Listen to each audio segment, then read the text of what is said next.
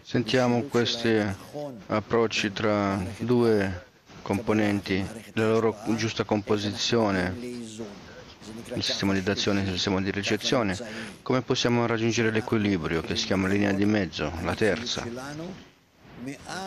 E iniziamo a scoprire la nostra realtà a livello corporeo.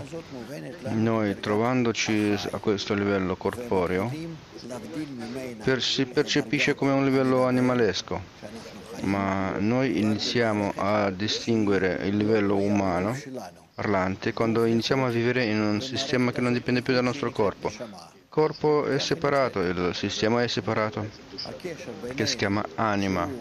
Così si chiama la connessione fra di noi che passa attraverso il sistema generale che abbiamo costruito fra di noi in forze equilibrate di dazione e ricezione. Questa connessione si chiama anima ed in questa connessione noi iniziamo a vivere, iniziamo a dare importanza proprio in questa connessione. E questo è ciò che si chiama il tuo mondo, lo vedrai durante la vita tua.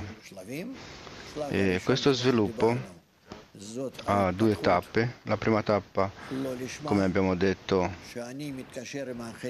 è lo sviluppo di l'Olishma. Quando mi unisco con gli altri capisco che così mi unisco con tutti. Io assicuro a te e soltanto in questa maniera quando io inizio a capire che tutto dipende dai buoni rapporti fra tutti i membri delle nazioni, insomma tra tutte le persone nel mondo, perché il mondo è integrale sempre di più si conclude e vediamo quanto dipendiamo l'uno dall'altro.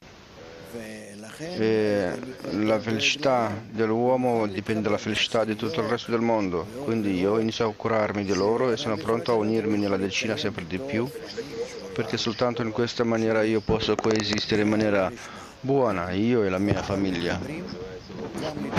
Questo si chiama l'Olishma, ma già si uniscono con il prossimo. E per star bene io, questo è l'Olishma. Poi, quando man mano che avanziamo, perché la luce cartellona sorgente agisce sempre su di noi e ci fa portare a un nuovo livello quando io già non faccio più distinzione tra me e gli altri. E questo sistema dove siamo connessi tutti insieme è talmente tanto ovvio nella sua integralità, con la sua interconnessione, quando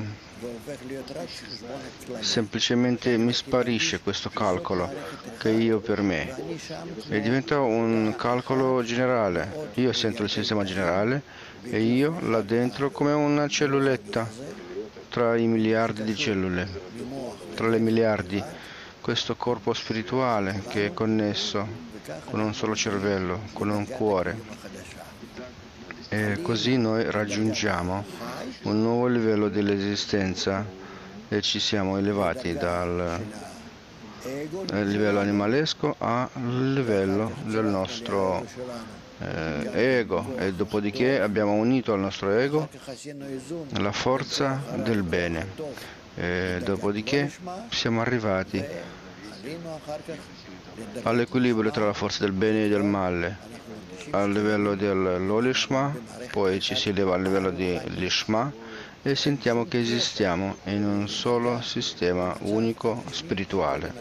E non c'è più nessuna connessione con l'esistenza materiale dove noi ci sentivamo prima esistenti nel corpo.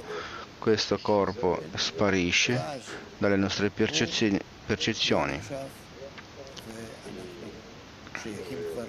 E già non lo prendiamo più in considerazione, ma apparteniamo a un nuovo livello dell'esistenza. E poi quello che accade in avanti noi non lo sappiamo, la scienza della Kabbalah non ci racconta quello che succede dopo, è una domanda di una questione della forza superiore. Noi invece parliamo soltanto della realizzazione nel nostro mondo, della realizzazione fisica nelle nostre forze Cioè la scienza della Kabbalah si chiama scienza nascosta, occultata, non per qualcosa di elevatissimo, misterioso, mistico, a, livello soltanto dell'immaginazione. Parla che una scienza nascosta è perché ci vuole far mostrare come utilizzare la forza nascosta, che per ora è nascosta dalla nostra natura, come tirar fuori questa forza del bene e come utilizzarla. Questa è una scienza molto pratica e noi dobbiamo realizzarla in questa maniera reale nel nostro mondo.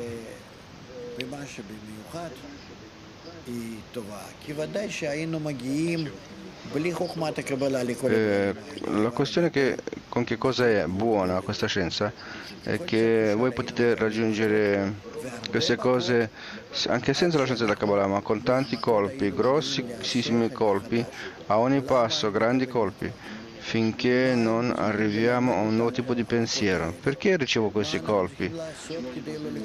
Cosa ci devono insegnare questi colpi? Cosa dobbiamo fare per non riceverli più? E a che ci serve tutto ciò? E in che direzione dobbiamo svilupparci che non sia come un aiuto di questi colpi? Cioè noi per ora in questa maniera, così come facciamo domare gli animali. Ma quando domiamo un animale, gli diamo il programma di come non ricevere il colpo, invece per noi ci deve essere un programma di come muoversi correttamente in avanti.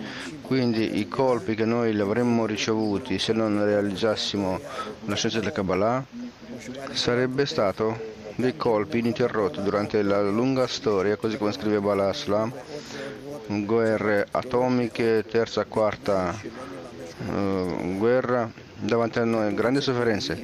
Questo è con la condizione se non realizziamo la scienza della Kabbalah. Questo è scritto dai profeti.